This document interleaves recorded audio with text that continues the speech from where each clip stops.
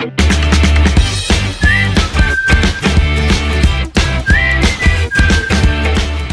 everyone, I'm Shivam Pasari and welcome to Ace In Academy. Now as you can see from the title of this video, our topic of discussion for this video is Wilson's theorem. So without further ado, let's begin with our topic. The Wilson's theorem is pretty straightforward and direct and the theorem states that when the number p minus 1 factorial plus 1 is divided by the number p, the remainder obtained is 0. And over here, p is a prime number. Now if you don't know what is a prime number, then let me explain it to you very briefly. A number which is divisible by the number 1 and itself is called as a prime number. For example, 7 is a prime number because it is divisible by only 1 and 7. 19 is a prime number because it is divisible by 1 and itself. So moving back to the theorem, when p minus 1 factorial plus 1 is divided by p, the remainder is 0. The Wilson's theorem is more commonly stated as follows. When p minus 1 factorial is divided by the number p, the remainder obtained is p minus 1. So this theorem is also restated as this. When p minus 1 factorial is divided by the number p, the remainder obtained is p minus 1. In general, I can say that when p minus 1 factorial is divided by p, the remainder is p minus 1.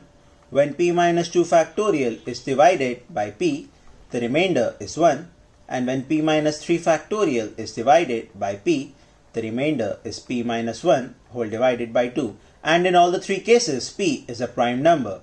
So let's take an example to confirm. So for example, I take p is equal to 5. Now when p is equal to 5, p minus 1 factorial is equal to 4 factorial. Now I know that 4 factorial is equal to 24 and when 24 is divided by 5, the remainder is 4 and p minus 1 that is 5 minus 1 is also equal to 4 so the first case is verified. Now moving on to the second case. 5 minus 2 factorial is equal to 3 factorial and 3 factorial is equal to 6 and I know that when 6 is divided by 5 the remainder is 1 so the second case is also verified now moving on to the third case now 5 minus 3 factorial is equal to 2 factorial and when 2 is divided by 5 the remainder is 2 itself now p minus 1 by 2 in this case is equal to 5 minus 1 by 2 which is equal to 2. So this case is also verified. Now let's take an example so that your concept will be much more clear. So for example, we have to find the remainder when 14 factorial to the power 33 is divided by the number 17. Now first I will check whether I can apply Wilson's theorem or not and since I have to divide it by the number 17 and 17 is a prime number so I can apply Wilson's theorem. Now over here p is equal to 17. Now I can see that 14 is equal to p minus 3 so I have to apply p minus 3 factorial when divided by p the remainder is p minus 1 divided by 2. So on putting the value of p I will get p minus 1 by 2 as equal to 8.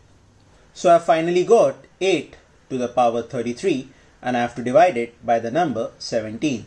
Now over here I can clearly see that I can apply the Fermat's Little theorem which states that when a number a to the power p minus 1 is divided by p, the remainder obtained is 1 and where p is a prime number and a and p are co-prime. So I can rewrite 8 to the power 33 as 8 to the power 16 whole to the power 2 divided by 17 into 8. Now according to the Fermat's Little theorem, my first part will give me remainder as 1, so I will just be left with 8 by 17 and my final answer will be 8. I hope that you understood how I applied the Fermat's Little theorem to solve the later part of this question and if you have any doubt then I have made a separate video on it and you can go check that out too. That was all for this video and I hope that you understood all the topics covered in this video and if you have any doubt then you can post your doubts down in the comment section or you can send your doubts to us to our channel's official Instagram or Facebook page and we will surely solve your doubt as soon as possible. Or you can go to the official website of Ace In Academy and you can send your doubts to us from there and all the links are provided down in the description. And if you did like the video then please hit the like button and subscribe to the channel Ace In Academy.